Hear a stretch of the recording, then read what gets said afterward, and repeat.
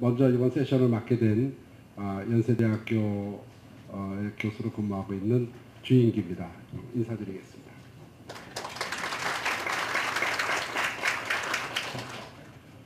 어, 이번 세션은 매우 그 관심 있는 또 중요한 세션이라고 생각합니다. 여기 또 많은 분들이 참석해 주셨는데요. 과거에는 그, 어, 이 성에 따라서 역할 분담이 있었던 것 같습니다. 그래서, 어, 그, 우리가 가정주부 혹은 이제 어머니는 남편이 회사에 가서 열심히 근무할 수 있도록 뒷바라지를 하고 가정을 잘 살피고 또 남편은 어, 직장에 가서 열심히 그 가족을 위해서 또 어, 일을 하고 또이 어, 필요한 그 뭐 이 경제적인 그 성과를 받아오고 이러한 역할 분담이 있었던 것 같습니다. 그런데 미국에서는 제가 70년대 중반에 미국에 첫 번 유학을 갔었는데요. 그런 역할 분담에 대해서 얘기했더니 우리 classmate에 있었던 그 여성분들이 굉장히 이상한 사람으로 보더라고요. 그게 70년대 죄송합니다. 마이크가 안 된다고 해서 지금은 들립니까? 지금 괜찮습니까? 네. 아, 그래서 70년대 중반에 제가 미국에 MBA 하러 갔었는데 그 당시에 그 group discussion이 있었어요. 그래서 group discussion 하면서 어, 역할 분담, 그 남성과 여성의 역할 분담하는 것이 더 이 효율성을 올릴 수 있는 길이 아니냐 이렇게 얘기를 했더니 거기에 있는 사람들이 굉장히 이상한 이상한 희귀종이 와가지고 이상한 소리를 한다 그런 표정을 줬었어요. 그게 어, 그 당시 저 사람들이 왜 저러는가 그랬었는데 그게 바로 70년대 중반이었습니다. 근데 지금 오늘날 우리 지금 학교에서 저 뭐 MBA 석사나 뭐 이런 과정에 가서 제가 막, 막 어떤 학생이 어, 그런 그런 역할 분담에 대해서 얘기하면 우리 한국에 있는 여성분들도 굉장히 이상한 사람들이 이상한 사람이 있구나 이렇게 얘기할 정도로 이제 우리나라도 많이 바뀌었습니다. 그래서 과거에는 가정이 직장을 support하는 그러한 그 역할이었었는데 이제는 여성분들도 적극적으로 사회에 진출함에 따라서 이제는 직장이 기업이 가정을 support 해줘야 되는 역할이 이제 완전히 패러다임이 이제 변하게 되는 그러한 어, 시점에 와 있게 된 것 같습니다. 그래서 이렇게 우리가 이론적으로는 어, 여성분들이 사회 진출하고 사회 활동을 함으로써 이제는 성에 따르는 그 역할 분담이 없고 남편도 일하고 역시 그 어, 아내도 일하기 때문에 이러한 일하는 가정, 일하는 가정을 support 할 수 있는 사회가 돼야 되고 일하는 suppo-, 일하는 가정을 support 할 수 있는 기업이 돼야지 된다라고 하는 거는 우리 모두 아마 다 여기 어그리 하실 겁니다. 어그리 하실 겁니다. 나와서 여기 있는 한 분 한 분 나와서 말씀해 보시라 그러면 다 그렇게 해야 된다 그럴 겁니다. 그렇게 안 하면 휘기적으로 몰릴 거니까요. 그러나 막상 어, 그 현실, 현실은 어떤가? 직장에서의 현실은 어떤가? 어, 그런 것은 조금 다르다. 왜냐하면 어, 여성분들을 고용할 때 여러 가지 뭐 출산 휴가도 줘야 되고 또 때에 따라서는 가족을 돌보기 위해서 집에 일찍 가야 할 일도 있게 되고 뭐 이러한 등등등등 문제가 있기 때문에 막상 고용을 할 때는 어, 눈에 보이지 않는 뭐 차별이 없다라고 말을 하더라도 눈에 보이지 않는 차별이 있을 수 있다. 그래서 지금은 이제 정부에서도 이러한 그, 어, 이 가정을 꾸미고 자식을 낳고 하는 문제에 있어서 여성들이, 여성들만 그러한 모든 부담을 갖는 것이 아니라 남성들도 같이 에, 분담해야 될 거 아니냐라고 하는 의미에서 남, 요, 요즘은 아빠들에게도 출산휴가를 주더라고요. 그래서 실질적으로 이용되냐 그랬더니 별로 이용되는 경우는 거의 없고 아, 실질적으로 일단 국가에서도 이 가족을 꾸며나가고 가정을 이끌어 나가는 데 있어서 남성들도 역할을 분담해야 되고 또 기업들도 어, 분담을 해야 되고 또 사회도 같이 분담해야 된다라고 하는 그런 쪽으로 캠페인을 벌리고 있습니다만 실질적으로 그러한 일들이 얼마나 효율적으로 일어나고 있는가 이 문제에 대해서 오늘 우리가 이 어, 국내외 전문가들을 모셔서 말씀을 나누게 되겠습니다. 어, 첫 번째 이제 말씀해 주실 분은 호주, 호주의 그 어, 퀸슬랜드 유명한 대학입니다. 퀸슬랜드 대학교에서 어, 가족 친화 경영 쪽으로 연구를 하고 계시는 우리 그, 어, 그 도나 펜다가스트 교수님이 교수님께서 이 가족 친화 경영이 뭔가, 웰빙이 뭔가, 기업에서 그러한 전략을 구체적으로 어떻게 수행해야 되는가에 대해서 말씀해 주시게 되겠습니다. 그 이후에 이제 어, 두 회사인데요. 교보생명, 어, 교보생명은 여성 어, 어, 직장인들이 고용 어, 종업원들이 많이 있습니다. 교보생명과 또 바이엘 코리아에서 어, 글로벌 회사인 바이엘 코리아에서 실질적 사례 이러한 그 남녀 동등 직- 근무 조건을 만드는 것에 대한 실질적 사례 또 그거에 대한 효과에 대해서 말씀이 있으실 거고요.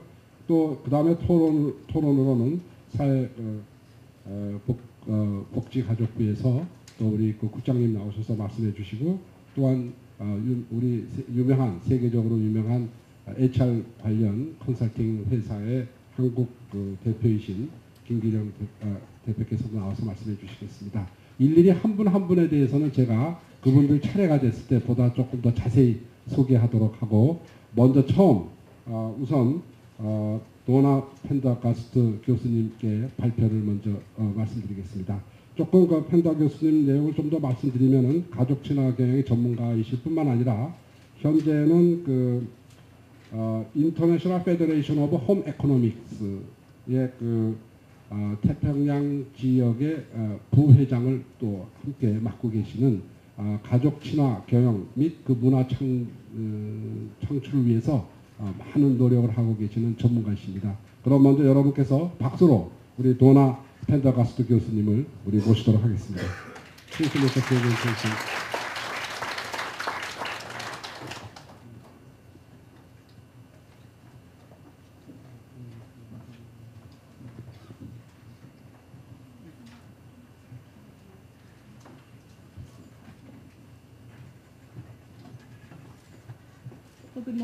Everyone. It's lovely to be here. Um, it's my very great privilege to um, chat with you today and to share some of our experiences. I'm speaking to you today from the perspective of both an academic but also as being a member of an international federation that actually privileges the rights of families and individuals and focuses on well-being. So that's a very important, I guess, dual cap that I'm wearing today. Um, it's really ironic that in our audience today we actually have the immediate past president of the International Federation of Home Economics, Dr. Lilha Lee, and she is uh, a Korean. So you are very, very well informed about this area and it's uh, a great honour to be here uh, at her invitation.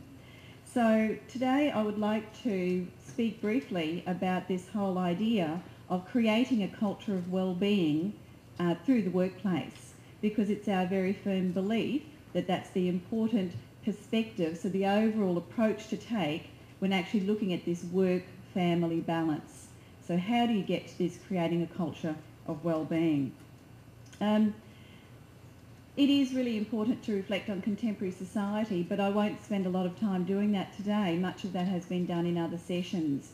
But I will get to that point of saying how important it is for your culture, wherever you are in the world, to adopt this particular approach.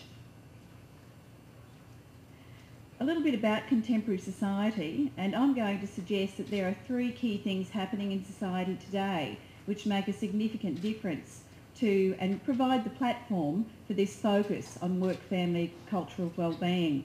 The first of these is globalisation, which I will not extend any further. We all have our understandings of that. The next is individualisation and pluralisation, which is that notion that we don't know what jobs will be in the future, but we know that we have to invest in individuals. So we need to have individuals who are good at learning new, new things, expert novices. To have that, we need to have resilient individuals who are lifelong learners. And so they must be happy in both their home and their family and their workplace. So individual, family and workplace well-being. We also know that the demographic changes at this point in time, I'll quickly flick through this whole notion of globalisation, individualisation and this whole notion of demographic change. Now, you have heard from the professor about the changes in society. And we know uh, globally that we have issues about an ageing demography of our society. We know that we have reduced birth rates in developed and developing countries. And I believe that the birth rate in Korea is about 1.2. We know that family is being put on the back burner for the benefit of, society, of other um, priorities. And so this is why it's time to bring this back to the fore. The UN actually made this statement, and the UN is saying that, you know, there's no point really in focusing on all of those things if fundamentally we don't deal with the core of society, and that is our families. So when we look at the issues that are important to families, it is where they live, it is what they eat, and it is how they relate to one another. So these are the fundamentals of society that enable us to then be workers. Without those fundamentals, we can't actually get to that point. So exploring this concept of well-being. Well, um, as I said, the International Federation of Home Economics and the home economics profession believes that the well-being of individuals and families is the most important priority that anyone could take. And it, it is those levels that are important to us. What is well-being? Well, I'm going to give you the simple definition. It's a good or a satisfactory condition of existence. But what's important about well-being is that my well-being is different to your well-being. I may have different spiritual needs, I may have different moral needs, I may have different physical needs than anybody else in this room. And so well-being is a uniquely experienced situation. So when we focus on developing a culture of well-being, we need to focus on individuals. We can't take on board initiatives or strategies that treat everybody the same. So we must understand the needs of individuals. There are what we call uh, protective factors for developing um, a sense of well-being and there are what we call risk factors for developing a sense of well-being. And this well-being is delivered through the family, it's developed, de- delivered through the community, it's de- developed through our workplaces. So these risk and protective factors end up creating a sense of well-being. And so the individual child, the family itself, the school environment that's impacting on people as they're developing and growing, the life events that occur, and then the community and cultural factors, and that's where we place work as part of that particular element. That's where it fits in there. So you can see it has a part to play in a wheel, if you like, or in a, a larger complex around this whole area. My paper goes through and actually unpacks each of these areas, so I encourage you to go to the website and read the paper. It's fully developed in each of these areas. I don't have time today to unpack them, but suffice to say that when you look at the sorts of issues that we know impacts on well-being, then work has one of those very significant impacts. It's one of those big issues. And creating a community through work is one of the strategies for enhancing this well-being. These are what we call risk factors to not to, to actually stopping somebody achieve their sense of well-being, their heightened sense of well-being, their optimum sense of well-being, and that's what we're hoping to achieve in a society. Um, if you look at family and we think of the work-family balance, if a person uh, is in a situation of poor supervision, then they are at risk of not achieving their well-being because they may become distracted by factors. If they have harsh or inconsistent discipline, if they have a lack of warmth or affection, these are issues that might come out of a time poor family situation. Time poor because time is being allocated to other work events. The protective factors are these. And so if you look at the other side of the same coin, we can then look at, well, what are the family factors that are going to actually enhance well-being? And it's things like having supportive and caring parents. So these are the issues that we help build around our staff and around our human resources. Having family harmony. So have people who come home that are happy with their lives. So a sense of being happy and being lovable is really critical to optimising well-being. A secure and stable family, so a sense that you belong in your workplace translates directly into your home life. And on it goes. As I said, my paper unpacks this much more thoroughly and uh, I refer you to it. Family well-being is not something that it, we can have one global understanding of. And as I said, it's very individual. And the key to understanding and then working in your own context is recognising flexibility. What you put in place as a family friendly approach may be very effective this year but not next year. And so we move on to the fact of how do we actually assess our um, risk and our protective factors, how do we move with this and keep this current so that it's very, very contemporary for the time. So developing a culture of well-being. How am I going, Professor? Five. Okay. These are my key strategies and the key strategies focus on promoting resilience in, in individuals and developing lifelong learning attributes. When taken together, this is a capacity for well-being. So what I'm suggesting to you is the workplace can assist in developing capacity for well-being in the family situation. The strategies, and of course, we want to actually hive off, get rid of those risk factors. So remove them as much as possible. Resilience is something that's very, very important, the ability to bounce back. Our society is one where you need to be resilient to survive, and our work culture is no different to that. So learning the skills of resilience is critical.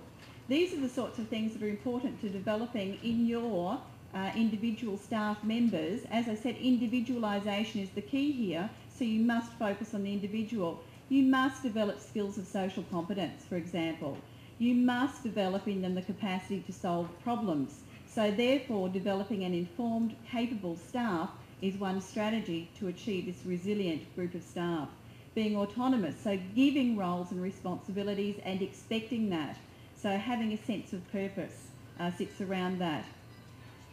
The ways of, of further developing this, these characteristics, is about encouraging participation, caring and having high expectations for all. It's very important that we expect the most of our workers and our family members. Lifelong learning has been spoken a lot about at this conference so far, so I won't spend any time unpacking it today, except to say it all comes down to being an expert novice. And in our workplace, when we translate this into our family lives, that means our families are also constantly learning because our family forms are changing and there is now no longer one definition of the family either. So it's a self-definition. So if you have well-being as self-definition and you have family as self-definition, therein lies the challenges for our workplaces today. Some positive examples. My paper looks at a number of organisations in Australia who have won awards for their work-friendly practices. And I won't have time to go through them very much today, but these are the things, these are the benefits they have gained uh, as being part of this particular cultural move to privilege family in the workplace. These are the sorts of things they're retaining staff. Their work, uh, their occupational health and safety incidents are reduced. They have a happy client group. They have improved productivity. And all of this has been measured. So we have some measurable outcomes here. This is not speculative, it's measured outcomes. The strategy to get to work out what your, your group needs are these four strategies. Analysing the demography of your organisation, assessing those needs on an individual basis, communicating that you understand the issues, and then developing and selecting a range of appropriate strategies that will change. You are not committed to this forever. And here we see a couple of really uh, significant, these organisations have won Australian awards for their initiatives.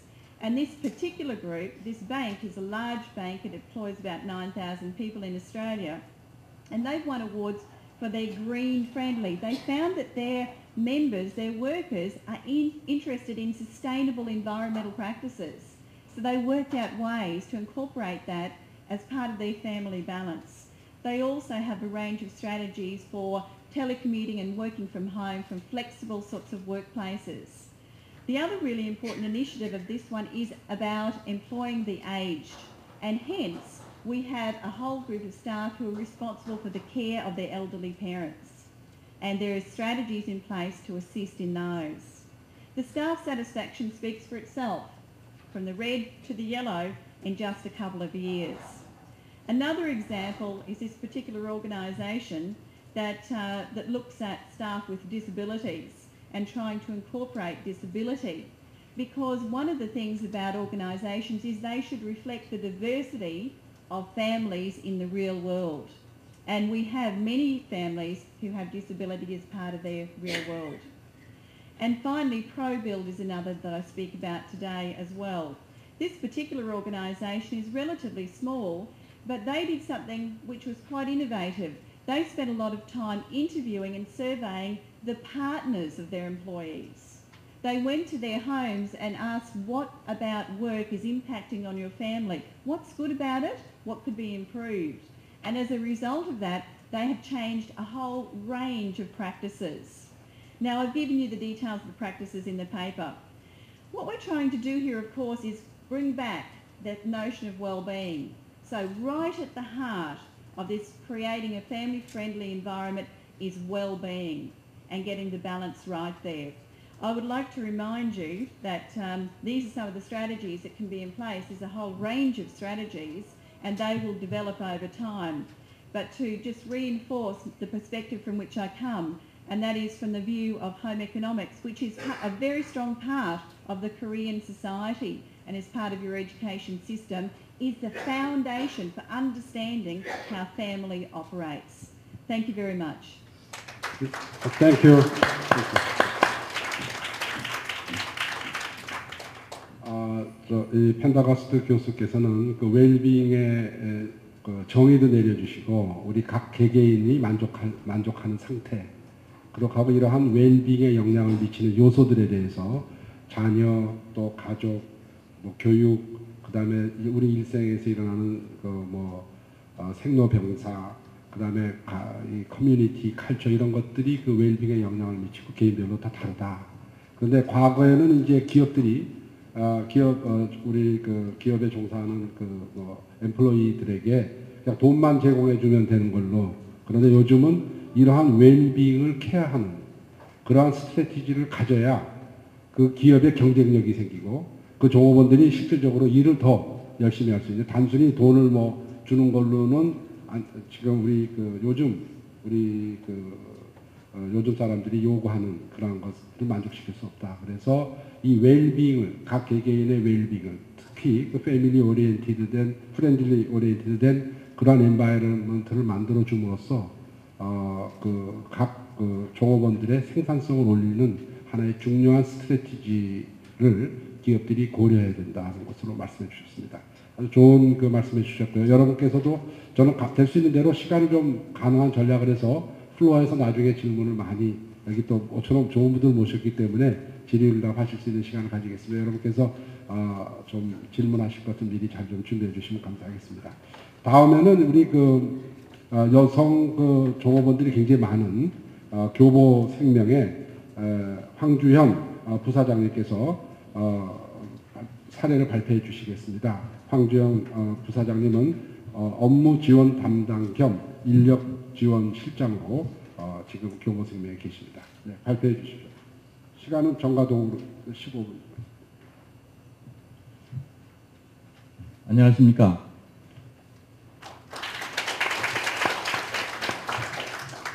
네.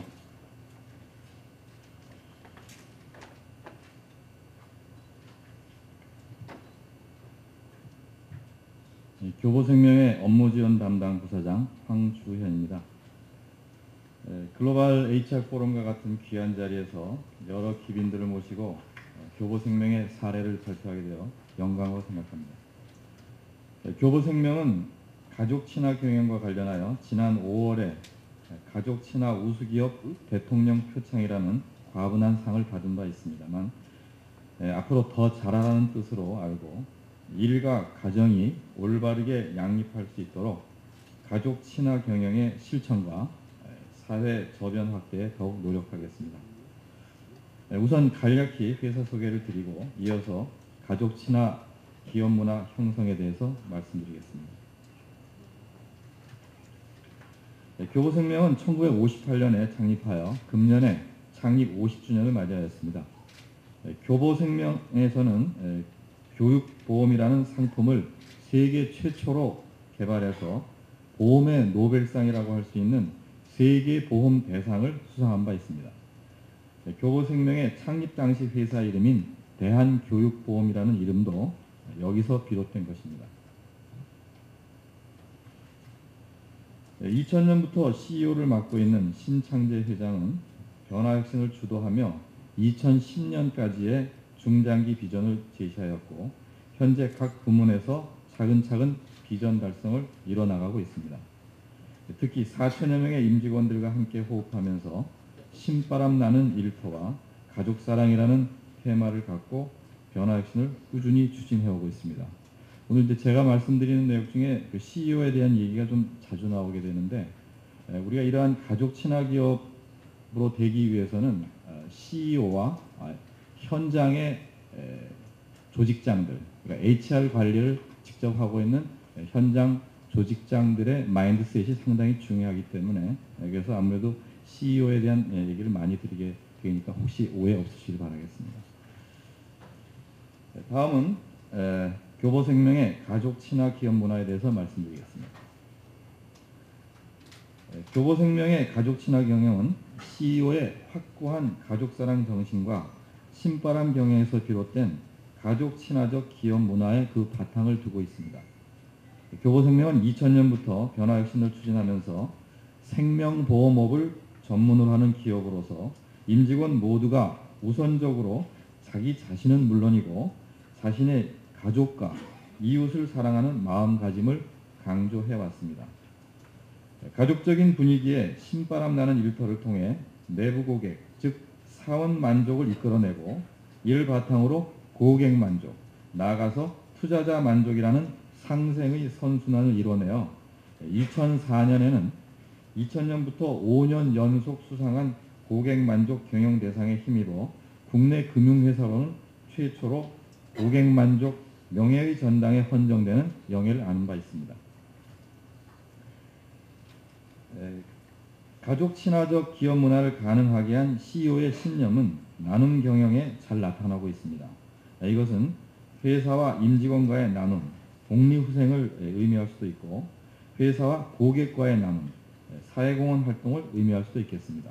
그리고 회사와 투자자와의 나눔, 에, 지속적인 이익을 내며 좋은 성장을 이뤄내어 고용과 가치, 에, 고객 가치를 창출하는 윤리 경영을 의미하기도 합니다. 에, 가족 친화적 기업 문화를 가능하게 한 CEO의 또 하나의 신념은 열린 경영입니다. 에, 여기 보이는 에, 사진들은 연출을 통한 쇼가 아, 전혀 아닙니다. 실제로 교보생명의 CEO는 학창 시절 밴드를 결성한 적도 있고 또 즐거이 요리를 하는 등 몸에 밴 open mind를 갖고 예, 교보생명의 기업 문화를 리드하고 있습니다. 임직원이 서로 믿고 의지하는 회사, 주말이면 월요일 아침 출근이 기다릴 정도로 일하는 것이 즐거운 회사를 만드는 것이 CEO의 신념이기도 합니다. 이러한 열린 경영을 통해 임직원 간의 power distance를 줄이고 자율과 창의라는 문화 형성을 위해 노력하고 있습니다. 산부인과 출- 의사 출신인 CEO는 가족과 생명의 소중함을 누구보다도 잘 알고 있으며 임원 회의 시 가끔 자제분으로부터 받은 편지를 읽어주며 가족의 소중함을 강조하기도 합니다.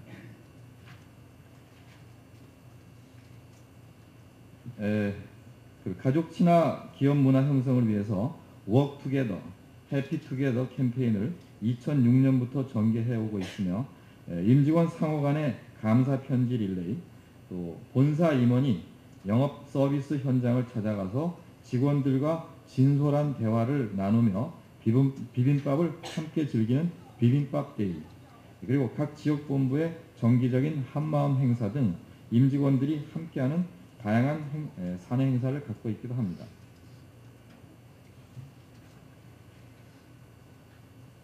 에, 다음으로 임직원에게 적용되는 임직원 가족 친화적 복리후생 제도와 에, 나아가서 에, 임직원 가족에 대한 가족 친화 사내 이벤트 등에 대해서 말씀드리겠습니다. 네, 먼저 육아휴직 제도입니다. 에, 새로운 제도는 아닙니다만 법으로까지 규정되어 있어도 조직장들의 수용 마인드가 개선되지 않으면 실천하기 힘든 제도입니다. 예, 교보생명의 4천여 임직원 중 여성 근로자는 40% 수준입니다. 예, 최근 3년간 법정 출산 휴가자 334명 중 육아휴직자는 94명이고 그중 1년간 육아휴직을 사용- 에, 활용한 사원은 83명으로서 출산 휴가자 334명의 25% 수준에 에, 이르고 있습니다. 이 중에는 특이하게 남자 사원도 한 명 포함되어 있습니다. 네, 교보생명은 육아휴직자들이 육아휴직을 사용한 후 인사 및 평가상의 불이익을 받지 않도록 예, 육아휴직자에 대해서는 직전 근무지 재배정 또는 희망 보직을 복직하는 것으로 원칙으로 해서 이를 준수하고 있고 아, 인사고과 시에 조직장들에게 육아휴직자에 대해서 불이익이 없도록 하는 평가 가이드, 에, 가이드라인을 제시하고 또 그 내용을 모니터링하는 등 육아휴직 제도를 에, 활용하는 에, 직원들의 에, 불이익이 없게 해서 육아휴직 제도 활성화를 어, 위해서 노력을 하고 있습니다. 에, 또한 육아휴직 기간을 줄이는 대신에 회사에 복귀해서 업무를 하면서 육아를 할 수 있도록 하는 육아기 근로시간 단축 제도를 에, 금년 3월부터 관련 법령에 따라서 시행을 하고 있습니다. 에, 보육에 대한 지원은 에, 카페테리아 후생복리 제도 시행을 통해서 보육 비용뿐만 아니라 보육과 관련된 문화생활, 의료비 지원 등 폭넓게 지원을 확대해 나가고 있습니다. 예, 사실 교보생명도 예전에 보육시설 도입을 추진한 바 있습니다만은 예, 보육아들의 다툼이나 또는 관리 소홀로 인한 부상 등 회사의 예, 책임 소재에 대한 부담 및 분쟁이 우려돼서 보육비 지원으로 대신하게 되었습니다. 예, 전문기관의 위탁에서 보육할 수 있도록 예, 보육비 지원을 예, 하게 된 것입니다. 예, 한편으로는 요즘 식품 안전 및 웰빙에 대한 의식이 높아짐에 따라서 예, 모유를 먹이려는 여사원들의 니즈가 많이 있고 그래서 수유실을 만들게 되었습니다. 모유 수유를 예, 원하는 여직원들이 예, 적극적으로 잘 활용하고 있습니다. 예, 자기개발 휴직, 휴가와 종업원 경력 개발은 뭐 물론 당연한 얘기입니다만 남녀 사원에 차별 없이 적용하고 있습니다. 자기 개발 이후 공인 자격증 획득이라든지 또는 에, 그 내용이 우수한 자에 대해서는 복직 시에 시장 가치에 상응하는 대우를 하고 있습니다. 에, 또 에, 사원들에게 전문 인력에 의한 상담 서비스를 제공하고 있습니다. 법률 및 재무에 대한 상담을 제공하는 한편 최근에는 에, 경기 침체나 가정 불화에 의해서 에, 가족의 붕괴, 즉 이혼에 대한 전문 상담까지도 에, 그 폭을 확대해서 시행하고 있습니다. 에, 또한 인사 고충 상담 코너를 통해서 인사고과 승진 및 에, 인사 이동 등그 인사 관리 전반에 걸친 사원들의 고충을 해소하여 사기를 진작하고 있습니다.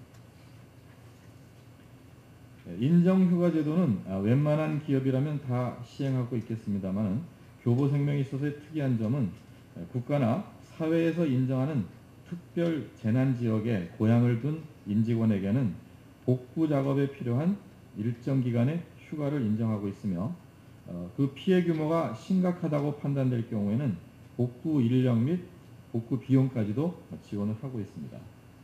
또한 반일 휴가 제도를 활용해서 오전 또는 오후 시간에 개인적인 권리를 볼 수 있도록 하고 있습니다. 또한 에, 임직원 및 배우자에 대한 건강 검진이 정기적으로 실시되고 있으며 각종 건강 캠페인을 통해 임직원의 건강 습관 만들기에도 노력하고 있습니다. 네, 지금까지는 종업원에 대한 어, 지원 제도를 살펴봤고요. 에, 임직원이 가족과 함께하며 가족의 소중함을 느끼고 가족애를 강화할 수 있도록 이 밖에도 여러 가지 프로그램을 운영하고 있습니다. 어, 부서장급 리더로 승진할 경우 부부 동반 프로그램을 에, 운영해서 가족이 서로를 이해하고 가족 사랑을 다질 수 있도록 하고 있으며 임직원 자녀와 함께하는 각종 학습 및 봉사 체험을 운영하고 있습니다. 또한 자녀와 함께하는 주말 농장을 운영하고 또 특히 정신이 건강한 가족을 만들기 위한 부모 역할에 대한 세미나 등이 무료로 이루어져서 자녀 양육이나 자녀와의 바람직한 커뮤니케이션, 부부간의 올바른 커뮤니케이션 등 사소한 감정으로 자칫 해칠 수 있는 가족관계 형성을 지키는 데 노력하고 있습니다. 또 주말에는 회사의 교육센터인 개성원을 임직원 가족에게 오픈해서 가족들이 각종 에, 시설을 휴양소처럼 활용할 수 있도록 지원하고 있고 에, 가족들이 사회복지단체에서 봉사활동을 겸한 휴가를 보내는 가족 자원봉사 캠프도 운영하고 있습니다. 에, 아울러서 에, 각종 시상식 및 교보 MBA 수료식 등 행사에 에, 가족을 초청해서 함께 축하하고 또 수상자들의 CEO와의 오찬에 가족까지 초대해서 수상의 기쁨을 가족과 함께 나눌 수 있도록 하고 있습니다. 예, 다음은 에, 당사의 에, 가족 친화 사회공헌 활동에 대해서 말씀드리겠습니다. 에, 교보생명이 특히 가족 친화 사회공헌 활동에 관심을 기울이게 된 배경에 대해서 보면은 에, 요즘 갈수록 에, 국내외 여러 사태들로 인해서 여러 가정들이 많은 어려움을 겪고 계시는데 에, 외환 위기 후 경제난, 청소년 문제, 이혼 증가 등으로 가정이 무너지고 에, 가족이 해체되는 경우를 종종 볼 수 있습니다. 교보생명은 회사 내부적으로는 생명보험업을 전문으로 하는 기업으로서의 가족사랑 마인드 구축과 사회적으로는 가족 붕괴로 인한 사회와 국가의 성장 기반 약화에 대한 심각성 인식과 가족사랑 공감대를 형성하고자 에, 작년부터 가족사랑 프로젝트를 추진하고 있습니다. 고객과 사회에 대한 가족사랑의 필요성을 얘기하기에 앞서서 우선 내부적으로 임직원 스스로가 가족사랑의 소중함을 깨달을 수 있도록 각종 체험 프로그램과 마인드셋 교육을 실시하고 있습니다. 예, 그 중에서도 유서 쓰기, 입관 체험 등 임종 체험을 통해서 나와 내 가족의 삶을 장기적 안목에서 돌아보고 가족의 소중함을 깨닫는 예, 계기를 갖고 있습니다. 예, 이러한 프로그램은 가족 친화 경영을 추진하는 교보 생명의 기업 문화와 어우러져서 나와 가족, 예, 일과 가족, 회사와 가족, 사회 국가와 가족 등에 대한 깊은 성찰을 해볼 수 있는 좋은 기회를 제공하고 있습니다. 네, 가족에 대한 따뜻한 얘기를 담은 가족의 재발견이라는 책자를 네, 발간해서 네, 고객 및 임직원 5만여 명에게 공급하였으며 네, 가족사랑 노래를 네, 만들고 컬러링을 활용하고 있으며 각종 가족 행사의 주최 및 후원을 하고 있습니다. 네, 최근에 에, 교보생명에서 후원한 행사들입니다. 가족 포토전 운영, 또 가족사랑 소원의 에, 벽 행사, 행복한 가족 그림 공모전 등을 어, 한바 있습니다. 네, 특히 비용이 많이 소요되는 에, 이른둥이 미수가 지원에 에, 20억 원을 지원하고 있으며 무위탁 노인 무료급식, 에, 은퇴 노인 생활지원 프로그램인 푸른숲 안내 교실을 지원하고 있습니다. 또한 대학 졸업식까지 등록금을 지원하는 희망 장학 지원, 또 간병 공사 아, 봉사단 운영을 통해서 여러 계층의 가족사랑 지원을 위해 노력하고 또 큰 호응을 얻고 있습니다. 그리고 임직원과 함께 에, 가족사랑을 실천함으로써 에, 사랑의 활- 운동을 통해서 소년 소녀 가장 에, 아동과 후원 결연을 맺고 6년째 진행 중에 있습니다. 이러한 사랑의 띠 있기 후원은 단순한 경제적 지원만 하는 것이 아니라 후원자와 아동이 만나는 아동들이 만나는 캠프를 정기적으로 운영해서 정서적인 후원자로서도 역할을 하고 있습니다. 네, 끝으로 주요 성과에 대해서 간략히 말씀드리겠습니다.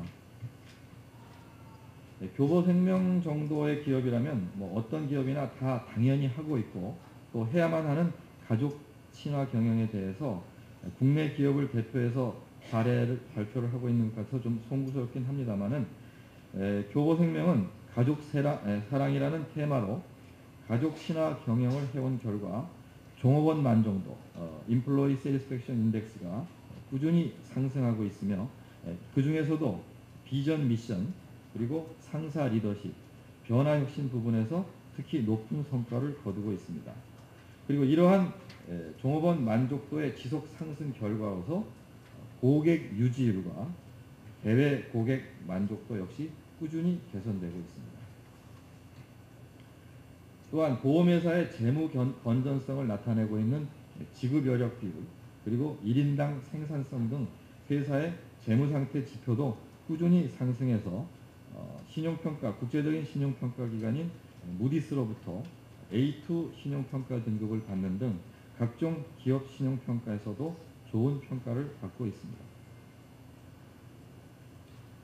에, 가족 친화 경영 관련해서 뭐 대내 인정도 많이 받고 앞서 드리, 말씀드린 바와 같이 지난 5월에 에, 가족 친화 우수기업 대통령 표창도 받았습니다.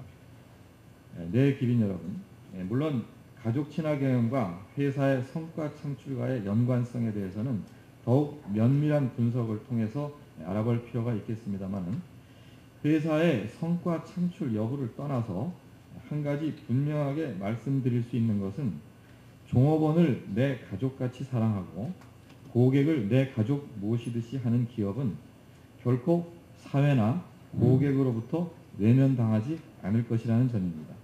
네, 경청해 주셔서 감사합니다. 네, 감사합니다. 황주현 아, 부사장님. 어, 황주현 부사장님께서는 어, 교보 생명의 가족 친화 어, 문화를 그 바탕으로 하는 가족 친화 경영을 통해서 신바람 나는 일터를 만들었고 그러한 신바람 나는 일터 속에서 종업원들의 자율과 창의력을 향상시키고 또 행복도 웰빙을 증가시켜 가지고 그것이 결과적으로는 고객 만족으로 이어지고 그 고객 만족으로 나타나는 결과가 1인당 생산성이 높다라든가 혹은 또한 그 대외 신용평가에서 높은 신용 A2라고 하는 높은 신용평가를 받게 되었다라고 하는 그 사례를 말씀해 주셨습니다. 그렇게 하고 또 끝으로 이와 같은 그 가족 친화 경영이라고 하는 것이 단순히 생산성 향상을 위해서 위한 기업의 어떤 어, 경영 전략적 마인드에서 했다라기보다는 그거보다 더 근본적으로 종업원을 사랑하는 기업은 그 기업이 결과 어, 그 사회로부터 어, 오히려 사랑을 받을 수 있고 또 고객으로부터 사랑받을 수 있다라고 하는 어떤 어, 철학적인 그 바탕으로서 이와 같은 가족 친화 경영을 하고 있다라는 말씀을 해주셨습니다. 가족 친화 경영의 뭐 여러 가지 예를 어, 드는 가운데 아, 그 육아 휴가를 아, 이렇게 받도록 하는 그러한 권장하는 그 프로그램에 대해서 소개해 주신 것이 상당히 의미 있는 것이고요. 또 사실 배우자 그 어, 육아 그 휴가도 받을 수 있는데 어, 한 분만 남성분이 한 분만 그 휴가를 받았다라고 하는 것은 아직도 그 제도를 조금 더 더 활성화해서 육아라고 하는 것은 양쪽 다 책임이 부모 양쪽 책임이 있는데 아직도 육아는 그 어머니 쪽에서 저 아주 많은 그 비중을 담당하고 있는 것이 오늘의 우리 에, 그 우리 사회의 한 현상이다라고 하는 그런 부분도 있을 수 어, 우리가 엿볼 수 있었습니다. 어, 어쨌든 그 가족 친화 경영을 통해서 기업의 어떤 성과도 나타나고 또 그것이 또 고객 만족으로 이어지고 또 사회에서 아, 기업이 종업원에게 그 웰빙을 추구하고 어, 종업원을 사랑 가족같이 사랑하는 마음으로 대할 때 그 종업원뿐만 아니라 그 사회도 그 기업에 보답한다 라고 하는 그런 말씀해 주신 것이 상당히 의미 있었다고 생각합니다. 다음에는 글로벌 기업으로서 어, 또한 남성 평등, 남녀 평등의 그 아, 아주 그 모델 기업으로 인정받고 있는 어, 바이엘, 바이엘의 그 바이엘, 바이엘 코리아 주식회사의 최정근 상무님께서 발표해 주시겠습니다. 최정근 어, 상무님께서는 특히 노무 관리와 교육의 책임을 맡고 계십니다. 네, 발표해 주십시오. 네, 환영, 아, 우리 우선 박수로서 환영해 주십시오. 네, 안녕하십니까. 그 방금 전에 이제 교보생명에서 발표를 해주시니까 그 갑자기 전뭐 할 말이 없어진 것 같은 느낌이 듭니다. 저희가 사실 오늘 여기에 나오게 된 거는 그 저희 회사가 무슨 특별히 자랑할 만한 거 있어서 뭐 이렇게 자랑하려고 나온 것은 아니고요. 어, 저희 회사가 아마 제가 한 25년간 그 회사를 다녔는데 이 회사에서 어, 경험한 것 중에 정말 우리 여직원분들은 퇴사를 안 하십니다. 그 정년 퇴직 될 때까지 절대로 안 그만두십니다. 이제 그것이 그 아마 외부에서도 어, 바이엘에 다니시는 분들은 참 뭔가 있구나라고 해서 아마 그런 것 같고요. 그래서 이제 어, 자랑할 게 아니고 저희가 그러면은 이렇게 된 게 과연 어떤 어, 우리 회사의 어떤 기업 정신과 그럼 어떤 시스템에 있어서 이렇게 연결이 되느냐 요거에 대해서 이제 제가 잠깐 정리를 해봤습니다. 그걸 여러분께 보여드리고 혹시 거기서 좀 시사하는 점이 있으면은 그 같이 쉐어하는 식으로 이렇게 진행을 하도록 하겠습니다. 우선 간단히 저희 회사 소개를 하자면요. 어, 한 145년 전에 독일에서 어, 염료를 가지고 시작을 했습니다. 아, 그래서 한 100년 전에 여러분이 아시는 바이엘 아스피린을 개발해서 어, 제약 분야에 뛰어들었죠. 그래서 지금은 어, 여기 밑에 보시는 healthcare하고 crop science 그다음에 material science 이 세 가지를 주 핵심 종목으로 해서 어, 사업을 영위하고 있고요. 어, 전 세계 326개 그 회사에서 어, 약 11만 명 정도가 근무를 하고 있습니다. 그러면 어, 이 글로벌 바이엘에서 한국에서는 뭐냐? 어, 저희 바이엘 어, in Korea 어, 한국에는 세개 회사가 있습니다. 아, 그래서 세개 회사가 한 5천억 정도 매출을 올리고 있고요. 거기서 한 천여 명 정도가 일을 하고 있습니다. 그리고 어, 생산 현장은 네 군데고요. 그 다음에 리서치 센터가 하나 있습니다. 거기서 사업이 어, 우선 healthcare라 하면 이제 여러분들이 이제 우리 건강 사업인데요. 여러분들이 잘 아시는 뭐 아스피린을 비롯해서 어, 그다음에 뭐 동물 약품이라든가 그다음에 그 당뇨 하여튼 여러 가지 그 최신 그리고 여러분이 그 처방전 있어야 되느냐 그 다음에 없어도 되느냐 이렇게 여러 가지 종류로 해서 healthcare를 그 영위하고 있고요. 그 다음에 crop science는 이제 농작물입니다. 그래서 여러분들이 그냥 쉽게 말할 수 있는 농약 사업부가 있고요. 그 다음에는 material science에서 이제 그, 그 첨단 소재 산업이죠. 여기서 이제 어, 최근에는 저희가 폴리카보네이트 가지고 여러분들 CD도 만들고 이런 식으로 하여튼 곳곳에 안 들어가는 데가 없습니다. 여러분들은 그냥 바이엘 그러면 아스피린 하나 정도 이렇게 느끼시겠지만은 사실은 우리 생활하는 데 있어서 마치 중국 식품처럼 곳곳에 우리가 사용하지 않을 수밖에 없는 사용할 수밖에 없는 그런 어, 그 산업들을 하고 있습니다. 그래서 여러분께 오늘 말씀드릴 것은 그 어떻게 해서 이렇게 여성들이 그 근무하기 좋은 회사냐라고 결과가 나온 데 대한 그 고려입니다. 제가 이제 쭉 살펴봤어요. 그랬더니 저희 회사에는 그, 그 기업 정신 있죠. 그 기업 정신과 그것을 그 케이스 케이딩 하는 그 경영진과 음, 관리자 이렇게 해서 쭉 흘러가면서 거기에 이미 배어 있습니다. 가만히 보니까. 그리고 그거에 근거해서 우리 인사제도의 근간이 있고요. 그걸 통해서 또, 어, 실질적으로 그걸 담고 있는 프로그램들이 여러 개 있습니다. 그걸 통해서 나중에 밸런스라고 하는 것은, 어, 그런 게 묻어나서 과연 어떤 식으로 어, 나타나고 있느냐, 이런 거에 대한 저 말씀을 정해서 해보고자 합니다. 우선 첫째, 어, 저희 회사는 이제 미션이 바로 보다 나은 삶을 위한 과학입니다. 이게 모토인데요. 거기에, 거기에 따르는 이제 가치관이 다섯 개가 있습니다. 그리고 리더십 프린시플이라고 일곱 개가 있어요. 그 중에서 이 가정 친화 관련한 것이 뭐가 있느냐, 이걸 좀 봤거든요. 그 가치관 중에 하나가 뭐냐면은 이해관계자들 위한 열정이라고 되어 있는데요. 여기에 보면은 한 세 번째 정도 이게 있습니다. 우리가 하는 모든 것들에 대해서 우리 직원의 이해를 반드시 고려한다라는 내용이 들어 있습니다. 이것은 결국은 우리 근로자 여성 남성 다 포함해서 이런 거를 고려하지 않으면은 우리가 지속적으로 경쟁력을 어, 끌어내올 수가 없기 때문에 아마 이게 들어가지 않았나 이렇게 생각이 되고요. 다음에는 어, 이 성실, 뭐 개방, 정직 이런 게 또 value에 들어가 있습니다. 이걸 통해서 우리는 어, 뭐냐면 아주 쉽게 말씀드리면은 요즘은 뭐 compliance가 많이 그 유행되고 있는데요. 그 회사 자체 방침이 비즈니스를 다 잃어도 좋다. 대신 compliance는 반드시 지켜라 라고 하는 것이 저희 그 회장님부터 임직원까지 모두가 다 이런 정신에서 일을 하고 있습니다. 이것이 또 가족 친화에 어떤 관계에 있느냐? 사실 우리 그 국장님도 나와 계십니다만은 저희 법이 참 잘 돼 있습니다.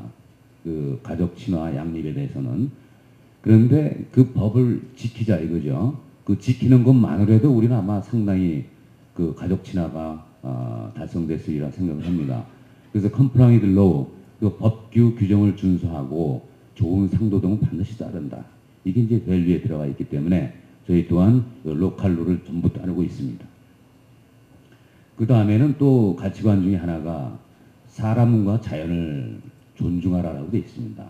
그러면 사람을 존중하라는데 우리 직원을 존중하지 않으면 안 되겠죠. 그래서 당연히 포함되는 것이다. 이렇게 말씀드리겠습니다. 그래서 이런 가치관을 어떻게 해서 그 회사 자체가 전체적으로 이걸 실행을 할 수 있느냐. 이거 이제 저희 문화 중에 하나인데 이 경영진 말씀이죠. 경영진은 어, 모두 우리 이게 회사라는 게 이익 집단이기 때문에 그 이익을 추구합니다. 그래서 모두 비즈니스 고를 어치해라 라고 하지만 동시에 회사 가치관과 리더십 프린시플에 의해서만 라고 반드시 못을 박습니다. 그래서 이런 문화와 그 다음에 그, 그걸 통해서 management, 경영진이 그러면 과연 그 실질적으로 직원들하고 일을 하는 사람은 누굽니까? 우리 관리자들이거든요. 이 관리자들을 끊임없이 트레이닝을 시킵니다. 이 가치관과 그 다음에 우리 leadership principle에 의해서 라고 해서 어, 가치관, LP 그리고 코칭 트레이닝 1년 내내 연중하고 있습니다. 심지어는 지금 이제 저희 멘토링까지 도입이 되어 있는데요. 이게 실질적으로 직원 하나하나에까지 계속 신경을 쓰겠다는 점, 그런 정책으로 봐야 되겠습니다. 그 다음에 이렇게 되면 다냐? 그건 아니고요. 저희들이 보면은 어, 의사소통의 장인들 마련되어 있습니다. 그래서 이것들 보면 뭐 법에 있는 것도 있고 또 늘 보던 겁니다. 하지만 이 하나하나는 저희한테는 상당히 소중한 제도입니다. 이걸 100% 완전히 utilize 하는 거죠. 이거를 그냥 위한 그런 기구가 아니고 실질적으로 그 취지에 맞게 어, 저희가 운영을 하고 있다는 것이 특징이겠습니다. 그 노사협의회라는 건 아마 그 법에도 정해져 있습니다. 모든 회사에서는 하고 있고요. 의무사항이기도 합니다. 그렇지만 이런 걸 통해서 저희는 어, 저희 회사 750명입니다만은 750명 다 모든 의견들이 수렴돼서 같이 토론을 하는 장으로 이용되고 있습니다. 그 다음에는 저에게 중간 관리자 미팅이라고 해서요. 회장님하고 이제 중간 관리자들의 그 고충을 들어보는. 그리고 또 다이얼로그 체어맨이라는 건 이제 회장님과의 대화. 그래서 저희 CEO가 좀 외국분이기 때문에 어, 한 3, 4년마다 한 번씩 바뀝니다. 그래서 뭐 아까 이제 교부에서 말씀드렸다시피 CEO가 어떤 마인드를 가지고 있는가 중요하다라고 했는데 저희는 3, 4년마다 바뀌다 보니까 어떤 한 사람이 바뀌면 또 바뀌고 이렇게 되기 때문에 좀 부작용이 있거든요. 그래서 회사는 글로벌리 무조건 그 CEO는 자기 개인의 철학이 아니고 회사가 정해준 가치관에 의해서 해라. 이게 저희 원칙입니다.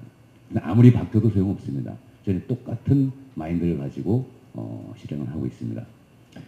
그래서 이 그 회장님과의 대화 시간이라는 건 750명 모두가 각 개개인이 1년에 한 번씩은 회장님과 대화를 하게 됩니다. 그래서 한 2, 30분씩 저녁에 그 뭐 맥주집이라도 모여서 같이 모든 질문 그 대답을 거기서 한 두세 시간에 걸쳐서 하곤 합니다. 그 다음에 이제 고충처리위원회, 뭐 이런 것은 뭐 늘 법에 정해져 있는 거고요. 그 다음에 360도 피드백이라는 거는, 어, 우리가, 우리는 이제 돌아다 볼 필요가 있거든요. 저희가, 여기서는 저희가, 어, 일반적으로 많이 시행을 하고 있지만 이 제도는 저희 회사는 개인, 그 다음에 부서, 심지어는 회사 전체도 360도 피드백을 합니다. 그래서 반드시 거기서 나온 피드백에 대해서는 어, action plan을 작성합니다. action plan에 의해서 반드시 following up을 하고요. 이렇게 계속 그 circulation에 대해서 어, 지속적으로 이어져 가는 것 같습니다. 그 다음에 이제 합의 클럽이고 스포츠 이벤트 이런 걸 통해서 어, 경영진하고 직원들이 계속 대화를 한다. 이건 뭐냐면은 전체적으로 어, 의사소통의 장입니다. 우리 가치관과 리더십 프린시플 그리고 우리 시스템을 실질적으로 돌아가게 하는 이런 대화의 장을 마련해 놓고 있습니다. 거기에 기준해서 저희 인사제도 한 세 가지가 근간을 이루는 게 있거든요. 쓰리 필라고 아워 HR 폴리시라고 하는데 여기는 어, 첫 번째가 바로 hiring guideline인데요. 저희는 채용 시 어, 핵심 역량하고 그 다음에 잠재력, 그 다음에 우리 회사의 value하고 LP의 기준에서 적합한 분만을 뽑게 되어 있습니다. 그래서 남녀, 무슨 노소, 학벌 이런 거 전혀 상관이 없습니다. 이미 이런 기준에서만 뽑게 돼 있기 때문에 그 우리가 남녀 고용 평등법에 의해서 그 얘기하는 뭐 차별 이런 건 들어갈 여지가 없겠죠. 그 다음에 잡그레이드 시스템인데요. 저희는 옛날에 이제 한 2, 30년 전에 호봉대에 있었습니다.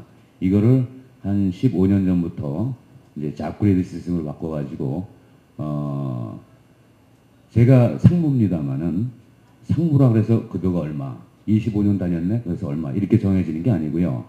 어 제가 하고 있는 job description이 있습니다. 그래서 제 포지션에 의해서 그 job 크기에 의해서 급여가 결정이 됩니다. 그러니까 여기에는 또 차별이 있을 수가 없습니다. 그래서 어, 고평법이나 이런 데서 규정하고 있는 법들은 이미 우리의 세 개 인사 제도만 가지고도 이미 우리가 고려할 필요도 없는 것 이렇게 돼버렸습니다. 그 다음에는 이제 이 성과 관리주의인데요. 이것도 한 12년 전부터 저희가 도입을 해가지고 우리의 목표하고 어떻게 그걸 측정할래 달성을 했는지 요거는 반드시 직원하고 상사 같이 합의를 하게 돼 있습니다. 합의가 안 되면 이거는 타겟으로 인정이 안 됩니다. 그 다음에 객관성을 유지하기 위해서 그 차상급자가 반드시 그걸 리뷰를 하게 돼 있어요. 이런 것 때문에 이제 저희는 이 세 가지 근간으로 해서 보면은 어, 남녀 간에 그런 차별이 있을 수가 없다라는 이제 말씀을 드리고 싶습니다. 이렇게 우리 회사의 가치와 그 다음에 인사 제도 그리고 우리 문화를 좀 살펴봤습니다. 그러면 이런 데서 과연 구체적으로 어떤 프로그램들이 예, 프로그램들이 운영되고 있느냐 물론 어, 가정 친화적인 그런 관점에서 볼 때 말씀이죠. 그걸 살펴보시면은 우선 job posting 시스템이라고 있습니다. 이거는 어, 무슨 제도냐면은 회사에서 어떤 결원이 생겼을 적에 어, 우선 내부에서 posting을 받습니다. 어느 직원이든지 그 job에 관심이 있다 그러면 apply를 합니다. 이건 어떻게 이용되냐면은 어, 장기적으로 자기 커리어를 봐가지고 내가 애를 언제 낳아야 되고 이런 계획들이 있을 겁니다. 그러면은 장기적으로 봤을 때 이건 내가 지금 하고 있는 job은 잘 맞지 않더라. 그러면은 계속 수시로 봅니다. 그래서 자기한테 적합한 job이 생기면은 거기에 우선 apply를 합니다. 그러면은 회사에선 외부 우선, 외부에 우선해서 내부적으로 어, 인터뷰를 해서 우선 거기에 채워놓습니다. 이게 job posting 시스템이고요. 그 다음에 이제 5일제, 이게 저주 5일 근무제인데요. 물론 이제 이미 우리도, 우리나라도 전체적으로 실시하고 있는데, 저는 회사 창립 당시부터 이미 그걸 실시했습니다. 그래서 제가 보기에는 이- 이런 것들이 아마 주 5일 근무제가 옛날에는 한 25년 전 이쯤에는 상당히 그 드물게, 드물게 있었습니다. 그래서 어, 여성분들한테는 특히 워킹맘들한테는 이건 상당히 도움이 됐으리라고 믿습니다. 물론 저도 이제 두 번째 직장인데요. 전직을 하게 된 이유가 바로 이것 때문에 전직을 했습니다만은 그때 이제 대기업에 이제 들어가서 일을 하다 보니까 그때는 뭐 토일이 없었죠. 그런데 우연히 주 5일, 진짜로 5일만 근무하는 회사를 발견하게 돼서 그때 옮기고 난 다음에 25년째 다니고 있습니다. 물론 처음에는 오해도 많이 받았어요. 그 25년 전이니까는 제가 이제 결혼해서 얼마 안 됐을 때 아파트에 살면서 보면은 토요일 날 안 나가니까 이제 주위에서 이웃에서 실업자 뭐 저 참 안 됐다면 이런 젊은 사람이 이런 식으로 오해들 많이 받기도 했습니다. 그러나 지금 뭐 전체적으로 다 우리가 실시를 하기 때문에 별 문제가 없지만요. 그래서 이것도 하나의 우리 회사 여성 근로자가 예, 근무하기 좋아했던 그런 원인 중에 하나라고 이제 분석이 됩니다. 그 다음에는 저 뭐 산전후 휴가, 그 다음에 육아 휴가 이런 게 있는데 이것도 물론 법에 있습니다. 그렇지만 법에 있다고 다 되는 게 아니고 우리 직원들이 여직원들이 늘 하는 얘기가 있습니다. 저번 회사에서는요 이게 말로만 이게 있지 사실 눈치 보여서 못 갑니다. 근데 바이올라 보니까 이거 전혀 아니거든요. 그래서 깜짝 놀랍니다.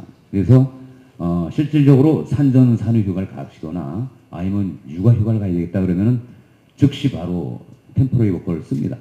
그래서 인수인계 받고 다 쓰신 다음에 또 인수인계 해주고 이렇게 해서 하니까 전혀 눈치를 안 봐요. 이러니까 이제 근무하기 좋다라고 또 소문이 난 것 같습니다. 제 밑에 직원도 지금 어, 1년 반 육아휴직 딱 내놓고 있어가지고 이미 템포를 뽑아놨습니다. 그래서 오늘날 바로 휴가에 들어가십니다. 그 다음에 이제 뭐 수유실. 이 유축실하고 있는데 오늘 아침에 신문을 보니까 참 그 전철역에 그 수유실이 역장님 방에 만들어져 있다면서요. 그래서 우리나라 역장님들은 다 여자분들이 되지 않겠나 이런 생각이 했습니다. 그래서 그 이 유축실이 참 제가 봐도 참 들어가고 싶을 정도로 깨끗합니다. 이런 게 돼 있고요. 그 다음에 저희 뭐 애만 기르면 다냐. 그 다음에 이제 교육비 많이 들어가지 않습니까? 그래서 유치원부터 뭐 대학생까지 자녀 교육을 저희가 지원을 많이 해주고 있습니다. 그 다음에 휴가 촉진제도 있죠, 여러분. 근로기준법에 보면은 이 촉진제도도 어 사실 그 말로만 있습니다, 대개. 그래서 휴가를 다 못 쓰십니다. 그렇지만 회사는 강력하게 그 무조건 못 쓰게 아니, 쓰게 합니다. 그 보통 회사들은 그 돈으로 보상을 해주지 않습니까? 우리 얄짤 없어요. 그냥 무조건 다 쓰게 합니다. 왜? 처음엔 오해도 많이 받았어요. 돈 안 주려고. 근데 그거 아닙니다. 줄 돈이 없어서 그런 게 아니고 실제로 그렇게 강력하게 시행을 하지 않으면 휴가 촉진 제도의 취지가 없어집니다. 바로 취지를 살리자. 이런 의미에서 있습니다. 뭐 시간 관계상 빨리빨리 넘어가겠습니다. 그 다음에 이제 건강검진, 물론 이거 1인당 한 수십만 원 듭니다. 이런 무조건 의무적으로 받아야 되고요. 그다음에 배우자 포함하고요. 이런 제도 하에서 그럼 과연 우리 실질적으로 숫자상으로는 뭐냐? 아까 교보생명 예 숫자 참 대단하십니다. 그렇지만 저희 뭐별 건 없어요. 하지만 수십 년간에 걸쳐서 이렇게 특별한 적이도 없는데 전체 인원 중에 여직원이 한 250분, 어, 남자분이 65대 35%네요. 그 다음에는, 아, 그, 그 기능별로 보면은 이제 admin, 어, 세일즈 쪽에도 이미 21%, 그전에 상상도 못 하던 일이죠. 근데 지금은 영업부에서도 여자분들이 21%나 됩니다. 그 다음에 admin, 뭐 공장에 께서, 그리고 이제 여자분들 중에서 managerial position으로 올라가는 비율이 얼마나 되냐. 남자가 32%, 여자분이 23%입니다. 전무님 부사장님 다 계십니다. 그리고 아, 이건 아마 교보생명에서 발표한 바와 같이 늘 이렇게 우리는 산전후 휴가 육아휴직 휴가를 하고 있다라는 내용이고요. 이런 프로그램 하에서 예, 한번 살펴봤는데요. 실질적으로 여기서 가장 키가 되는 제가 경험상 느낀 거에 의하면은 이건 뭡니까? 우리가 어, 늘이 아주 이 꼬마가 이 키도 큰 그 어른 경, 교통 아저씨인지 이렇게 하는 그걸 보면서 저는 많은 걸 느꼈습니다. 이런 것이 바로 진정한 어, open communication 아니냐. 그래서 모든 것에는 역시 가정 친화도 역시 이런 open communication으로 시작되는 게 아니냐라고 하는 것이 제가 오늘 드리고자 하는 말씀의 key message가 되겠습니다. 감사합니다. 네, 최장군 상, 어, 상무님 감사합니다. 오늘 이 바이엘 그 코리아 발표 이후에 많은 분들이 그 바이엘로 전직하고 싶어 하실 것 같습니다. 아, 이 바이엘 코리아에서 그 말씀하신 내용 가운데 특히, 특히 그 아, 우리가 관심 있게 보이는 부분은 아, 일단 회사의 기본 정책이 이해관계자들을 존중하고 또 법을 지키고 사람과 자연을 존중한다라고 하는 이 기본 principle을 철저하게 추진한다. 그러한 추진 과정에서 결과론으로 보니까 여성분들이 상당히 그 쾌적한 그 웰빙이 도모되는 그러한 직장이 됐고 또 여성분들이 상당히 오래 직장에 있고 여성분들이 좋아하는 직장이고 또 결과적으로 구체적으로 그 예로서 여성 직원 비율이 35%고 영업 부에도 21%나 있고 또 임원 진출 비율도 남성과 별로 차이가 없는 32%에서 23% 비율이니까 거의 뭐 조금밖에 차이가 안 나는 그런 정도의 결과가 나왔다라고 하는 것에 대해서 상당히 감명이 있는 것 같습니다. 여성이라고 해서 특별하게 뭘 더해 주는 것이 아니라 철저한 그러한 그 가치관을 어, 이해관계자 존중, 종업, 이해관계자 안에 종업원 들어있으니까 종업원의 관, 이, 이해관계를 철저하게 추진한다. 또한 법규를 우리나라에 나와 있는 모든 그 관련 법규를 철저하게 지킨다. 이러한 과정을 통- 통해서 또한 인간을 존중한다라고 하는 그 과정에서 종업원 개개인에 대한 그 멘토링 서비스라든가 종업원들과의 커뮤니케이션, 종업원들이 성장 가능성을 철저히 추구하는 과정에서 여성이든 남성이든 구분 없이 하는데 그것이 결과적으로 여성들에게 이와 같은 남들이 그 우리 다른 회사에 있었던 분들이 봤을 때는 상당한 그 혜택이 있는 것처럼 보인다라고 하는 부분은 상당히 그이 많은 그 의미를 그 가지고 있는 것 같습니다. 저는 특히 job grade system 이걸 아 이 시스템 굉장히 좋은 시스템이구나. 그러니까 월급을 주는데 그 job에 맞춰서 주는 거지 여성이냐 남성이냐가 아니고 그 어떤 그 job의 requirement에 따라서 그 job을 수행하는 사람에게 월급을 준 그 거기에 맞춰서 준다는 거. 그 다음에 또 성과 관리주의가 아, 직원과 상사가 합의가 되지 않으면 그 성과 그 평가를 인정하지 않는다라는 거. 이것도 아 이런 것도 참 좋은 아이디어다. 그 일방적으로 비밀리 하는 것이 아니라 합의 상사와 어, 종업원 그 밑에 직원 평가 피평가자 사이에 합의가 되지 않으면 안 된다. 또 그걸 차 상급자가 검토한다라고 하는 거. 그 다음에 또 잡 포스팅 시스템 어떤 잡이 생기면 그거에 대해서 내부 내부 직원들에게 먼저 그 자리에 갈 사람 이것도 굉장히 좋은 어, 제도인 것 같습니다. 이러한 제도들이 아, 저, 그 우리 제가 눈여겨봤고 또 저도 배웠다 이렇게 말씀드릴 수 있는데요. 이런 걸 통해서 결과적으로 어떤 인위적인 어떤 남자니까 여자니까가 아니고 종업원에 대한 그 어떤 그, 그 이해관계를 최대한 이렇게 고려하고 또 가치를 존중하고 그 개개인의 그 이해관계를 존중하고 또 그 사람들의 가치를 최대한 높일 수 있도록 하는 그러한 속에서 추진한다라고 하는 그런 좋은 말씀 해주셨습니다. 아 이제 그 어, 어, 발표자로서는 이제 그저 마지막 분이 되겠는데요.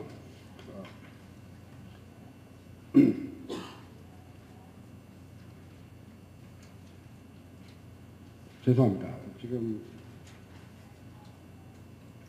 어, 발표자는 이제 끝난 거죠?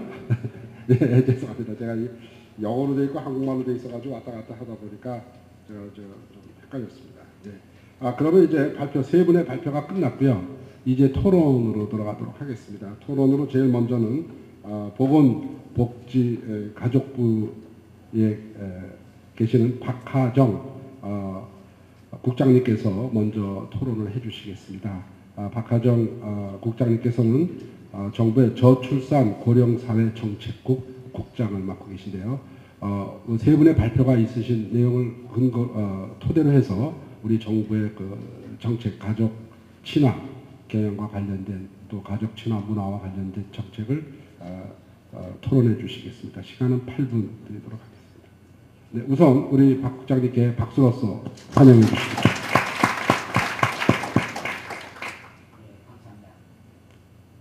네, 고맙습니다.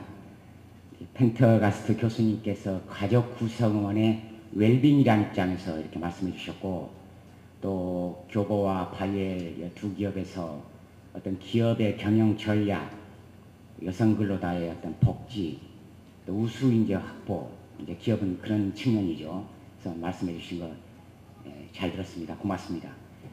정부 입장에서 가족 친화 기업, 가족 친화 에, 지역, 가족 친화 문화 이런 것들을 중요시하는 두 가지 이유가 있습니다.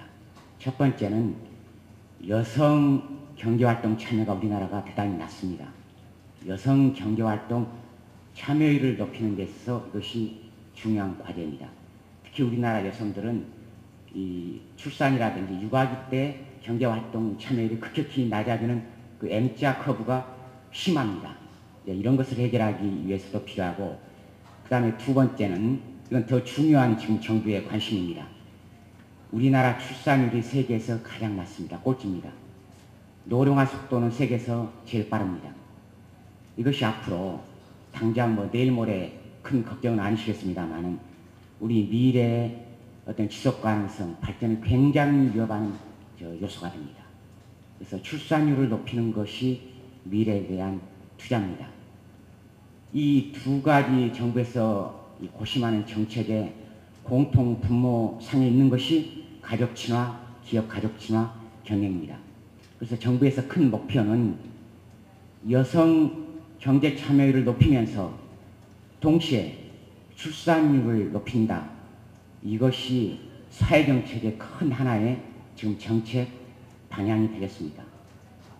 오늘 이런 입장에서 네 가지 지금 최근에 정부에서 추진하고 있는 그런 주요 정책을 말씀드리고 있습니다. 지금 음, 아시겠습니다만 금년 들어서 가족 친화 사회환경 조성법이 제정됐습니다. 남녀 고용 평등법이 남녀 고용 평등 및 일가정 양육 지원법으로 바뀌었습니다. 많은 제도들이 금년에 새로 시작되고 있습니다. 저희 복지부뿐 아니라 노동부, 여성부 이런 관계부처들이 같이 이런 것을 주요 정책 과제로 하나로 추진하고 있습니다. 가장 역점 두는 것 첫 번째가 보육 문제입니다. 지금 이게 큰 장애인이 되고 있는데요. 그래서 새 정부 들어서 보육은 이 나라에서 해결한다 그런 관점에서 내년도 예산을 새로 짰습니다만 무상 보육 대상을 지금은 기초생활수급자 저소득층이 한정됩니다. 이것을 내년에는 절반가량 대강 하위 소득 50% 절반가량 되는 에, 정부의 무상 보육 지원 대상을 대폭 확대하려고 합니다. 그리고 보육시설에 못 가시는 분들도 많습니다. 그래서 그분들은 보육수당을 월 10만 원 정도 드리는 걸로 그렇게 에, 보육정책을 획기적으로 확대를 하려고 합니다. 그 다음에 두 번째가 이 모성보험 문제입니다. 지금 산전의 휴가 그런 것들은 이제 고용보험에서 2, 3년 전부터 가바는 식으로 바뀌었고요. 그리고 특히 육아휴직제가 금년에 많이 바뀌었습니다. 예, 지금까지 1세까지만 됐던 것이 3세까지 확대됐고 그 다음에 또 남편도 같이 활용을 할 수 있고요. 이것을 지난번에 한 번은만 썼는데 나눠서 쓸 수도 있고 예, 이런 여러 가지 지금 육아휴직 제도가 많이 바뀌었습니다. 세 번째가 근로 형태에 관한 문제입니다. 주로 시간, 근로 시간 문제인데 지금 주 40시간 5째 근무제가 현재 단계적으로 확대돼 가지고 50인 교수까지 왔습니다. 이거 앞으로 전체 기업으로 단계적으로 확대를 해 나갈 거고요. 이 다 제도적인 정비는 돼 있습니다. 시차제 근무라든지 탄력 근무라든지 재택 근무라든지 이런 여러 가지 탄력적으로 근무할 수 있는 시스템 이런 것들이 예, 이번에 법 제도적으로 도입을 저 했고요. 그 다음에 네 번째로는 가족 친화 기업 인증 제도를 금년 말부터 시작을 합니다. 이건 사회 가족 친화 사회환경 조성법에 의해서 됐습니다. 예전에는 이렇게 잘하는 기업은 정부에서 이렇게 표창을 뭐 줬죠. 근데 이제 새로 법에 의해서 정부에서 정식으로 인증을 하고 로고를 예, 줍니다. 그러면 기- 기업은 그 로고를 기업 광고할 때나 기업의 상품 포장에다 붙여서 사용을 할 수가 있습니다. 그리고 정부에서 여러 가지 정책 자금이라든지 그런 인센티브를 주는 데 있어서도 그런 가족 친화 인증 기업은 가점을 지금 그 주는 그런 제도입니다. 그래서 지금 그 신청을 받고 있는, 있는데요. 열 몇 개의 기업에서 신청이 안 들어왔어요. 어, 뭐 첫 해라 그렇습니다만은 제가 왜 이야기를 드리냐면은 제도 납법은 많이 정비됐습니다. 근데 현실은 어떠냐 문제죠. 대기업은 그래도 나름대로 열심히 합니다만은 지금 중소기업들의 어떻게 이런 제도를 확산하느냐가 관건이고 그리고 특히 문제는 광범위한 비정규직은 이런 제도 지원 그런 우산 아래 있지 않습니다. 이 비정규직 여성 근로자 문제를 어떻게 해결해야 될 것이냐 그런 것들이 같은 과제입니다. 제가 오늘 교보 그 발표해 주셨습니다만 예전에 제가 다른 모임 가서도 양쪽 다 발표했던 거 들은 것 같아요. 제가 바라기는 앞으로 이런 발표 있을 때는 이름 없는 중소기업이 나와서 발표해 주기를 바랍니다. 에, 이렇게 되기 위해서 이제 중소기업들이 문제인데 제일 중요한 것은 기업의 CEO들, 인사 담당 임원들의 마인드라고 그래요. 그분들 마인드라든지 이런 것들이 바뀌지 않으면 안, 한다, 안 된다고 그러는데 우리가 경제계하고 같이 노력을 하겠습니다. 지금 저희 복지부에서 이런 것들을 이제 중소기업 같은 것들은 무료 컨설팅이라든지 교육을 하고 있습니다만은 이런 컨설팅이라든지 기업주, 인사 담당 임원들을 상대로 한 교육 이런 것들이 좀 널리 더 확산이 돼야 되겠고요. 기업에서도 이런 문화가 좀더 예, 확산이 됐으면 좋겠습니다. 자꾸 짧게 하라고 메모가 왔네요. 고맙습니다. 마치겠습니다. 감사합니다. 네, 아, 시간이 제약이 있어서 좀 더 많은 시간을 드렸으면 좋겠는데 제한. 네. 또, 어, 예, 그 우리 가족 친화 경영, 가족 친화 기업을 위한 많은 노력에 대해서 정책적인 말씀해 주셨습니다. 이어서 어, 김기령 어, 서 어, 토론을 해주시겠습니다. 어, 우리 그 김기령 대표이사님께서는 어, 인사 조직 전략 전문 그 그쪽 분야의 세계 최고의 컨설팅 회사인 헤이그룹의 한국 대표를 맡고 계십니다. 네, 8분간 토론해 주십시오.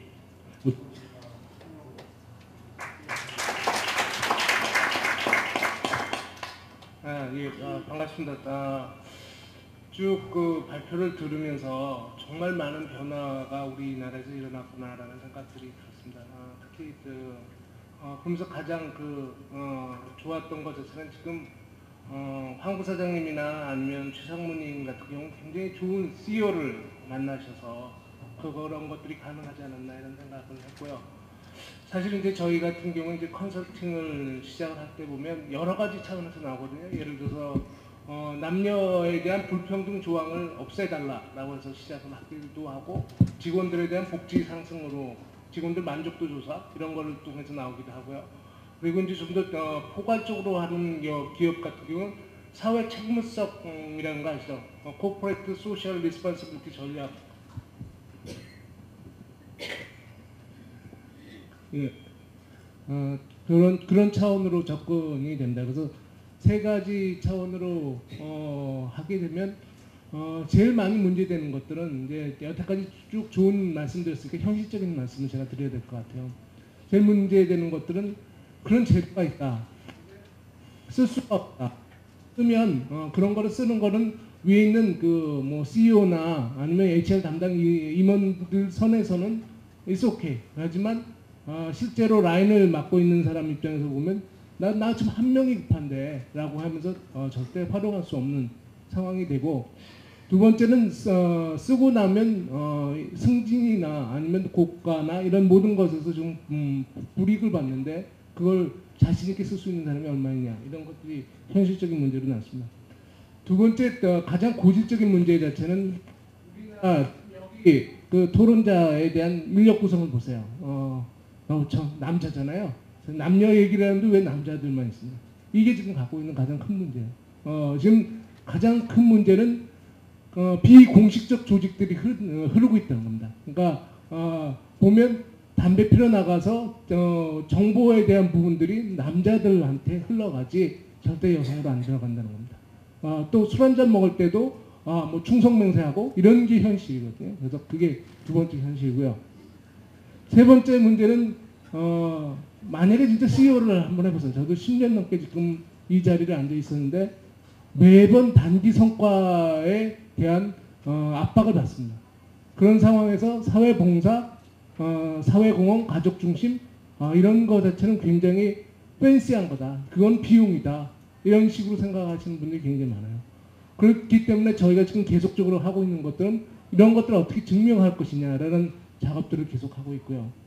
네 번째는 인식에 대한 변화가 굉장히 어렵다는 것들이 또 하나의 문제입니다. 그러니까 사람들이 어, 흔히 생각은 바꿀 수 있어요. 그래서 저희가 흔히 얘기하면 think differently, 다르게 생각하시고 두 번째 act differently, 다르게 행동하시고 be different, 진짜로 마음이 바뀌시는 작업이 세 단계가 됩니다. 그런 식으로 어, 사람을 변화시키는 것들은 굉장히 어려운데 우리 같이 그 매일 오리엔트된 그런 사회에서 그런 것들을 바꿔나가는 것들은 굉장히 오랜 시간들이 걸리기 때문에 그런 작업들이 어, 필요한 것 같고요. 어, 어, 그리고 이제 그런 상황에서 그러면 다 부정적이냐라고 하면 어, 실제로 저희가 이런 것들에 대한 연구를 해보면 어, 가족 중심 문화나 이런 것들은 기업에 대한 성과 부분하고 연결성이 있어요. 첫 번째로 가장 큰 영향력을 미치는 건 기업에 대한 브랜드입니다. 아까 어, 교보 같은 경우에 얘기를 들었으면서 아, 야 진짜 교보 좋은 회사다 이런 식으로 확실히 들어오지 않습니까? 그래서 기업에 대한 브랜드 효과고요. 두 번째는 직원에 대한 만족도는 확연히 올라갑니다. 그래서 어, 특히 어떤 부분이냐면 육아 부분 그리고 어, 노령화되면서 부모에 대한 어, 양육 부분이 걸리거든요. 그래서 그거에 대한 부분, 어, 그 다음에 이제 정신 건강, 그 다음에 육체 건강 같은 경우는 IBM 같은 경우는 헬스 인센티브를 주고 있어요. 그래서 어, 뭐 몸무게가 빠지거나 이러면 헬스 인센티브를 주는 이런 것들, 어, 그리고 경력에 대한 비전들이 확실합니다. 내가 여자라도 앞으로 더 올라갈 수 있다. 이런 것들에 대한 부분 때문에 지금 만족도가 올라가기 때문에 만족도 자체는 어떻게 되냐면 결국 고객에 대한 서비스가 향상되는 것들도 확연히 나오고 있습니다. 그래서 그런 것들이 있고요. 어, 세 번째는 이제 또, 또 중요한 것 자체는 어, 우수 인재에 대한 어, 유인력들이 생기세요. 그래서 어, 우리가 흔히 얘기하는 거 그런 것들 고용 브랜드라고 하는데 이런 것들에서 굉장히 그 효과적인 것들이 될 수 있고요. 어, 세 번째는 실제로 생산성이나 성과에 대한 향상들이 일어난다. 그건 보면 제가 연구를 해보면 고성과자와 중간성과자의 가장 큰 차이점이 뭔지 아세요? 지식의 차이가 아닙니다. 마음의 차이예요. 얼마나 내가 일에 몰입하고 이런 것들에 대한 차이로 실제로 나오고 있거든요. 그래서 이런 것들을 보게 되면 어, 충분히 될 수 있기 때문에 이런 문제 자체를 어, 보다 CEO가 이해할 수 있도록 어, corporate social responsibility를 묶어서 어, 접근하시는 게 훨씬 더 효과적으로 어, CEO를 설득할 수 있는 방법이 될 거- 되지 않을까라고 생각해서 어, 더 할 얘기가 많긴 하지만 시간 관계에서 여기까지만 약하겠습니다. 감사합니다. 감사합니다. 시간을 더 드리고 싶은데 지금 시간이 제한이 있어가지고 못 드린 점은 죄송하게 생각합니다. 아, 이제 floor에서 어, 시간이 조금 없지만 그래도 한 8분가량 있으니까 floor에서 질문을 두 분 내지 세 분을 받도록 하겠습니다. 아, 주- 질문하실 때는 좀 짧, 어, 다른 분도 질문하실 수 있는 기회를 주실 수 있도록 좀 짧게 해주시면 감사하겠습니다. 네, 저 마이크 좀, 네.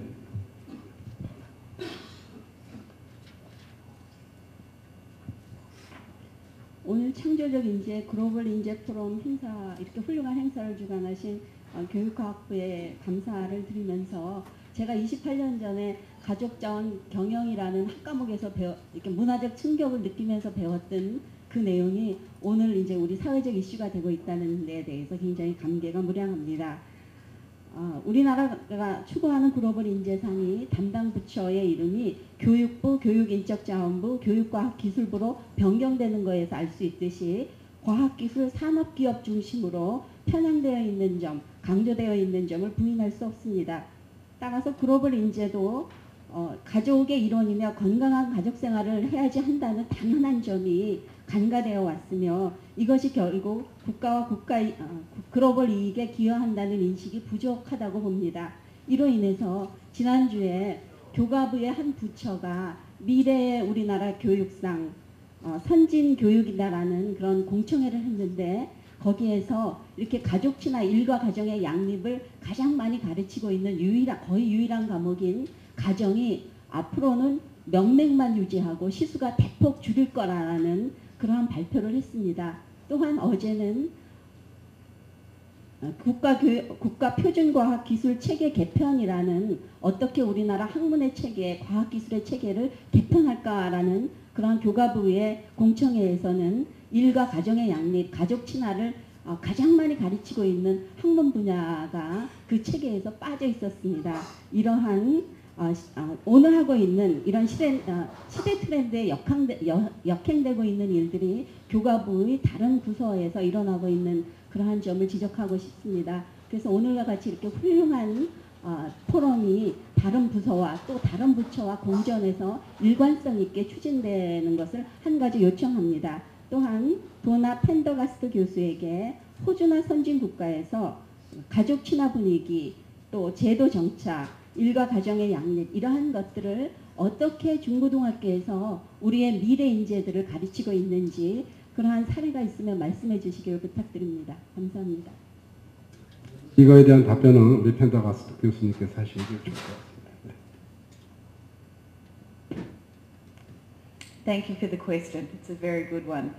Um, I believe that there is a, a, a global issue around the role that um, subjects such as home economics um, have in society because as a field it has been a devalued field of study because it's associated with home and family. I think that the moment, and I talk about this quite passionately in a number of speeches that I've given is that I believe that we're at a moment of, of major shift in society uh, where family has become um, the focus, an important focus. Our profession, the home economics profession, is now 100 years old. It's been around for a long, long time and it started off as a public health initiative. So how do we actually get rid of disease and the spread of disease through sanitation in the home? So it has a very, um, I guess, practical orientation. I agree with you that our education system is where we need to begin to actually lay the foundations for the work that we're talking about here today because that's about valuing people and valuing relationships and families. So I think it does come to a political position where um, governments recognise the value of individuals and families and actually make that very prominent in their policy statements. So yes, um, I think the shift towards IT and science, while it's a shift that's necessary, it must be done in a context of humanity. And that would mean that subjects such as home economics, not just home economics, but those, those kinds of subjects that provide a balance. Uh, this whole conference is about creative, developing creative talents. Um, so it all sits together beautifully. Um, so I hope that I've provided some response to your question. I believe that it's, a, it's, it is, uh, we're at a major paradigm shift, as the professor said at the beginning, and this is part of that um, reinvention of the humankind. Thank you. 어, 어, 네, 저 나중에 한꺼번에 다 그래 다 악수하더라. 한분 더 지금 네, 딱 네, 어, 마지막 한 분, 네.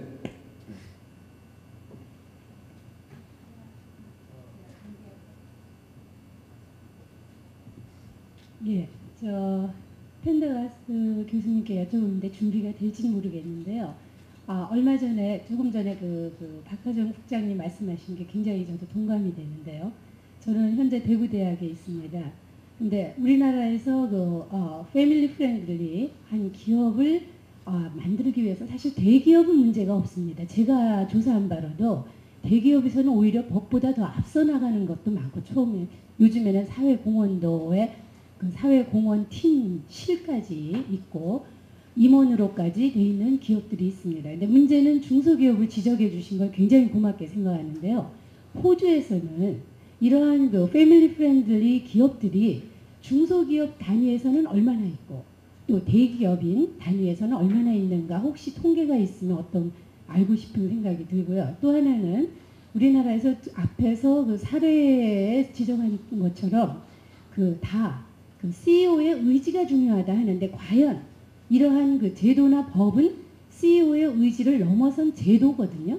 시스템으로 정착이 돼 있는가 호주는 단순히 그 기업의 CEO의 의지가 아니라 그래서 제가 보기에는 한국은 아직은 그 CEO의 의지라는 거는 굉장히 그 주관적이고 individual한 레벨이거든요. 그런데 호주는 혹시 여전히 비슷한 형태인가 아니면 그것이 사회적인 social system으로 제도적으로 잘 돼 있는가 하는 거를 한번 여쭤보고 싶습니다. The Australian situation is um, that uh, in 1984 the Sex Discrimination Act was put into place and much of the work family practices emanate from there. In 1996 the Workplace Relations Act was put in place and it has embedded in it very firmly uh, a balance between work and family. So it has been um, in place for you know just over a decade. Uh, that means that all workplaces must have family-friendly practices. So that's small and large and medium. So there is no question. Where it does vary, of course, and, and so with that comes a number of strategies that are expected, and then there are optionals, so that there can be uh, very specific initiatives based on the, the company itself, and that's based around needs analyses and so on. I really, I recommend it, can I suggest to you to go to my paper where it actually details this information quite thoroughly and gives you some examples of how it has been enacted. But certainly I wouldn't say to you that Australia is any beacon, uh, but they have been doing things for a longer time and there's now data to suggest that it makes a very significant difference.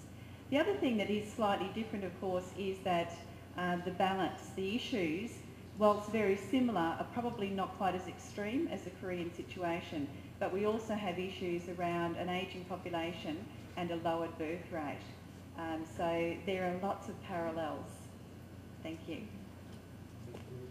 어, 답변이 충분하게 되는지 모르겠습니다만 시간이 제한되어 있기 때문에 오늘은 여기서 이렇게 아쉽습니다. 사실은 여기 발표하시고 토론하신 분에게도 한번 기회를 더 드리고 싶습니다만 시간이 워낙 부족하기 때문에 이것으로 마무리 짓도록 하겠습니다. 일단 우리가 오늘 좋은 많은 말씀을 나눈 것 가운데 다시 한번 정리해 보면은 아, 아, 가족 친화 경영이라고 하는 것이 우리가 얼뜻 생각하게 하면은 대기업만 할 수 있고 여유 있는 기업, 여유 있는 기업들이 아, 하- 하는 그 어떤 사치스러운 어, 불필요하지만은 또 하면 더 좋은 멋있는 뭐 이러한 그 의미의 개념이 아니라 기업이 생존하기 위해서 반드시 필요한 우리가 우리 그 모든 그 옛날 성현의 말씀대로 주는 대로 받는다라는 말이 있습니다. 그래서 기업이 어떻게 해주느냐 종업원들에게 거기에 따라서 기업은 그 종업원들에게 받을 수 있는 것이다. 주는 대로 받는다라고 하는 그, 그 말로 보자면 이거는 생존을 위한 기업이 살아남기 위한 하나의 기본 어, 정책이다.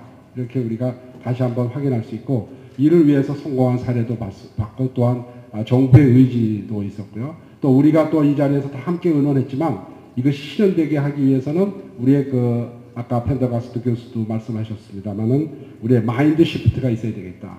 그러니까 우리가 그 기본 생각의 전환이 있어야 가능하다라고 하는 것이고요. 이를 통해서 우리의 결과적으로 우리의 웰빙이 증가되고 우리가 또 우리 사회뿐만 아니라 기업이 사회뿐만 아니라 세계의 에, 모든 분야에 있어서의 웰빙에도 우리가 참여하고 또 높이는 그런 결과를 가질 수 있다는 것으로서 어, 결론을 짓도록 하겠습니다. 이 많은 그 바쁘신 가운데서 참석해 주신 우리 어, 모든 참여자분들과 또한 아, 이 자리에서 어, 발표해 주신 펜더가스트 교수님, 또 황주현 부사장님, 최정근 상무님, 또한 토론을 해주신 박하정 국장님, 김기령 대표님께 감사드리면서 다 같이 박수로서 이번 세션을 마치도록 하겠습니다.